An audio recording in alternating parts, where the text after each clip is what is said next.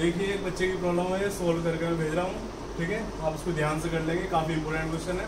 कई बार आया हुआ है एग्ज़ाम सबसे पहले हम क्या करते हैं, जो भी क्वेश्चन इंटीग्रेशन का दिया होता है, हम उसे क्या करते हैं आई के इक्वल मान लेते हैं आई बराबर एज्यूम कर लेते हैं, ठीक है? तो हम क्या करेंगे इसे आई के इक्वल मान लेंगे।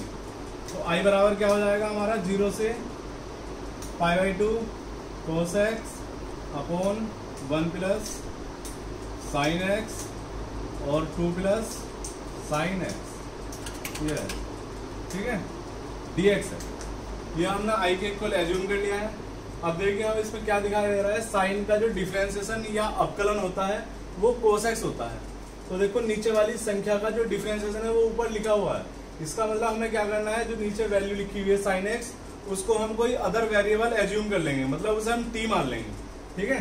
टी एज्यूम कर लेंगे। तो हम क्या करेंगे? साइन एक्स बराबर टी एज्यूम कर लेंगे और फिर दोनों ओर डिफ्रेंशिएशन करेंगे।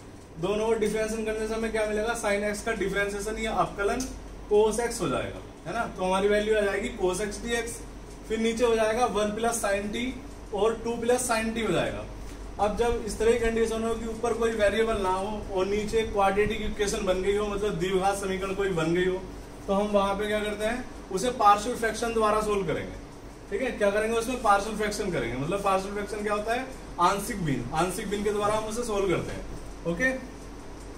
तो यहाँ पे हम, जैसे मैंने बताया लेट कर लेंगे साइन एक्स बराबर क्या करेंगे? टी एज्यूम कर लेंगे। ठीक है? साइन एक्स बराबर क्या आ जाएगा? टी आ जाएगा। अब मैंने बताया कि इसमें दोनों ओर हम डिफ्रेंसिएशन करते हैं या अपकलन करते हैं। ठीक है? तो यहाँ लिख देंगे एक्स के सापेक्ष अपकलन करने पर। एक्स के सापेक्ष अवकलन या दूसरा लिख सकते हैं differentiation on both sides differentiation on both sides with respect to x ठीक है? एक्स के सापेक्ष हम इसमें दोनों डिफ्रेंशिएशन कर लेंगे। तो क्या हो जाएगा देखिए? कोस एक्स और इधर हो जाएगा d t upon d x अब हमें वैल्यू फाइंड आउट करनी है यहाँ से डी टी की। तो डी टी का मान क्या आ जाएगा यहाँ से? डी टी बराबर हो जाएगा हमारा कोस एक्स और डी एक्स देखिए यहाँ पे लिखा हुआ है कोस एक्स डी एक्स तो कोस एक्स डी एक्स की जगह पर हम क्या पुट कर देंगे? डी टी लिख देंगे। ठीक है? और इसके बाद क्या करते हैं, हम इसकी लिमिट भी चेंज कर देते हैं, है ना? लिमिट चेंज हो जाएगी। देखिए, कैसे हो जाती है लिमिट चेंज पहले हम क्या करेंगे ज़ीरो लिखेंगे यहाँ। तो साइन ज़ीरो की वैल्यू कितनी है? ज़ीरो ही होती है है ना? फिर क्या करेंगे साइन पाई बाई टू ये वाली जो वैल्यू है अपर वैल्यू वो यहाँ लिख देंगे। उससे पहले हमने क्या करा है? ज़ीरो लिख दिया है। तो देखो साइन पाई बाई टू या साइन नाइनटी क्या हो जाता है? वन हो जाता है। तो हम यहाँ लिख देंगे वन हम इसे कैलकुलेट करके देख सकते हैं। साइन ज़ीरो बराबर कितना हो जाएगा? टी हो जाएगा, क्योंकि अब जो इंटीग्रेशन होगा वो टी के रेस्पेक्ट में होगा, क्योंकि हमने यहाँ वैल्यू जो फाइंड आउट करी है, वो डी टी की करी है। तो साइन ज़ीरो मतलब टी बराबर कितना आ जाएगा? ज़ीरो आ जाएगा। एंड करके लिख देंगे। साइन, इस बार पहले तो हमने ज़ीरो रखा है लोअर लिमिट रखते हैं, फिर अपर लिमिट रखते हैं। अपर लिमिट क्या है? हमारी पाई बाई टू है। तो यहाँ आ जाएगा साइन पाई बाई टू बराबर टी तो टी बराबर साइन पाई बाई टू मतलब साइन नाइनटी है ना? तो कितनी हो जाएगी? उसकी वैल्यू वन हो जाएगी। तो हमारी जो लोअर लिमिट है, वो हमारी ज़ीरो आ गई है और वन आ गई है ना? तो ज़ीरो से वन हम इसका इंटीग्रेट करेंगे इसको, ठीक है? समाकलन करेंगे। अब देखो कोस एक्स डी एक्स क्या आ गया है? डी हो गया है ना? तो क्या लिख देंगे वन इंटू डी लिख सकते हैं इसको ओके अब नीचे वाली वैल्यू में क्या हो जाएगा? वन प्लस टी हो जाएगा। और दूसरे ब्रैकेट की बात करें तो टू प्लस टी हो जाएगा। कितना आ जाएगा? टू प्लस टी अब हम क्या करेंगे? यहाँ से पार्शियल फ्रैक्शन का यूज़ करेंगे, है ना? नीचे अगर क्वाड्रेटिक इक्वेशन बनी है या दो ब्रैकेट अलग अलग दिखा रखे वेरिएबल है, उसमें किसी संख्या के साथ जुड़े हुए हैं तो वहाँ पे वो क्वाड्रेटिक इक्वेशन हो जाएगी अगर इसकी मल्टीपल करें तो। इस तरह की कंडीशन में हम क्या करेंगे, यहाँ पे पार्शियल फ्रैक्शन या आंशिक भिन्न का यूज़ करते हैं। तो यहाँ लिख देंगे using partial fraction partial fraction मतलब आंशिक भिन्न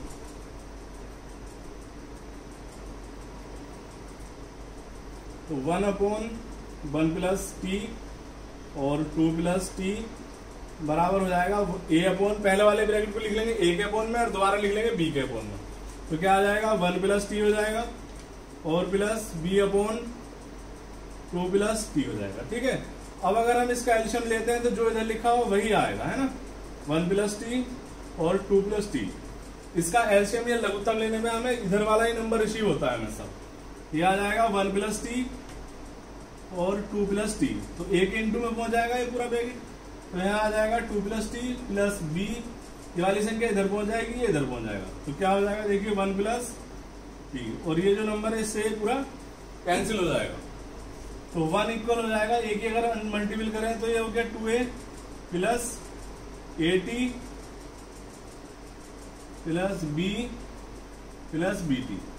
अब अगर यहाँ पर हम कंपेयर करते हैं तो ए बी की वैल्यूज़ ही होंगी। यहाँ लिख देंगे ऑन कंपेयरिंग या तुलना करने पर। तो आ जाएगा टू ए प्लस बी ना?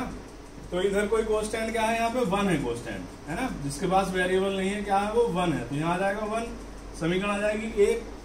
अब यहाँ हम देखते हैं कि यहाँ टी का कोविशेंट ए है, यहाँ टी का कोविशेंट बी है। तो कोविशेंट क्या आ जाएँगे? A plus b into t हो जाएगा। इधर टी का कोई कोविशेंट नहीं है। तो क्या करेंगे उसे ज़ीरो के इक्वल लिखेंगे। तो यह जाएगा a plus b equal zero समीकरण आ जाएगी हमारी टू अब क्या करेंगे हम इन्हें सब्ट्रैक्ट कर देंगे या घटा देंगे, है ना? सब्ट्रैक्ट लिख देंगे या यहाँ लिख देंगे, घटाने पर। ठीक है? तो घटाने पे क्या हो जाएगा? इनके साइन चेंज हो जाएँगे। ए माइनस का हो जाएगा ये माइनस का हो जाएगा। नीचे वाला चिन्हित में वैलिड होता है। तो कैंसिल हो जाएगा। अब टू ए प्लस का है ए हमारा माइनस का है तो कितना बचेगा? ए बचेगा। तो ए इक्वल कितना आ जाएगा? हमारा वन हो जाएगा। ठीक है?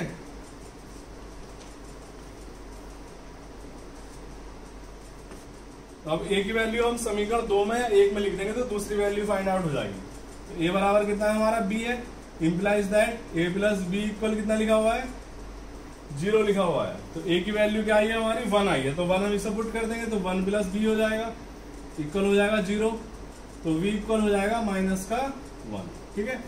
अब हम क्या करेंगे, जहाँ से हमारे वेरिएबल स्टार्ट हुए हैं, इसे इक्वेशन एस मान सकते हैं आप, या कुछ भी नाम दे देंगे इसको तो हम उसमें ए और बी की वैल्यू पुट कर देंगे। देखिए क्या मिलता है, और इसका दोनों ओर हम इंटीग्रेशन भी कर देंगे साथ साथ। इम्प्लाइज दैट ज़ीरो से वन है limit one upon one plus t और टू प्लस टी और डी टी है ना? डी टी के रेस्पेक्ट में इंटीग्रेशन होगा, क्योंकि ये टी के रेस्पेक्ट में सारे वेरिएबल टी हैं और टी की ही हमने लिमिट फाइंड आउट करी है।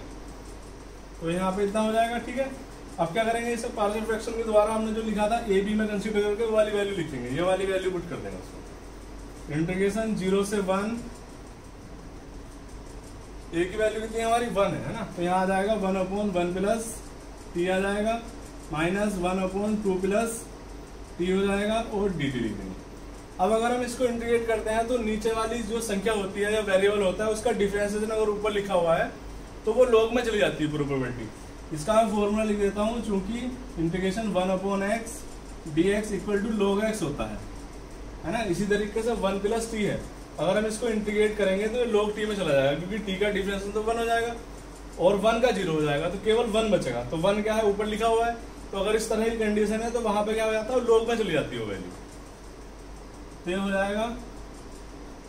Log one plus t minus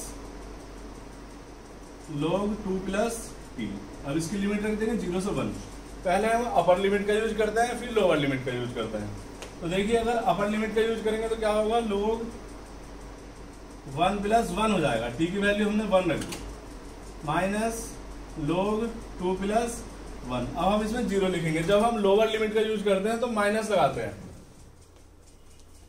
तो माइनस लोग वन प्लस ज़ीरो, और यहाँ ऑलरेडी माइनस है तो प्लस हो जाएगा। तो आ जाएगा लोग टू। और टी की जगह पे हमने ज़ीरो पुट कर दिया है तो टी टू प्लस ज़ीरो कितना हो जाएगा? टू ही रहेगा। तो यहाँ आ जाएगा हमारा लोग टू माइनस लोग थ्री। और ये लोग वन है लोग वन की वैल्यू क्या हो जाती है? ज़ीरो हो जाती है ना? तो आगे क्या बचा वो? लोग टू बचा, है नी लोग टू तो ये भी लोग टू है, ये भी लोग टू है, क्या हो जाएगा? टू लोग टू हो जाएगा। है ना? माइनस लोग थ्री इधर लिख लेते हैं इसको।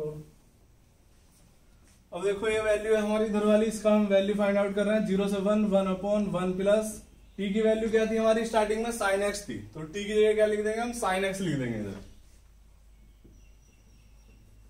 और टू प्लस साइन एक्स, है ना? जहाँ भी टी था इधर, उसमें हमने क्या कर दिया? साइन एक्स लिख दिया है वहाँ पे। अब देखो ये टू लोग टू है। तो इसको हम क्या ले सकते हैं? लोग टू की पावर टू, है ना? माइनस लोग थ्री, ठीक है? ठीक है। देखिए, यहाँ पे एक फॉर्मूला यूज़ होगा हमने इस तरह का पढ़ा है नाइन्थ या टेन में। अगर m और log n लिखा होता है ना? तो ये वाली पावर क्या होती थी? यहाँ पे चली जाती थी, है ना? तो ऐसा ही हम यहाँ पे करेंगे। N की पावर एम हो गई, जैसा कि हमने यहाँ कर दिया है, ठीक है? और इसके अतिरिक्त एक फॉर्मूला और भी है। क्या होता है वो? log m minus log n अगर माइनस में होती log में कोई दूसरी वैल्यू तो वो उसका अपोन में आ जाती तो क्या हो जाएगा यहाँ पे? log m upon log n हो जाएगा, ठीक है? तो अब देखिए, करते हैं इसे आगे। ज़ीरो से one one upon one plus sine x और two plus sine x d x तो ये क्या लिखा हुआ? है लोग टू की पावर टू लिखा हुआ है। तो क्या हो जाएगा? ये लोग फोर हो जाएगा। है ना?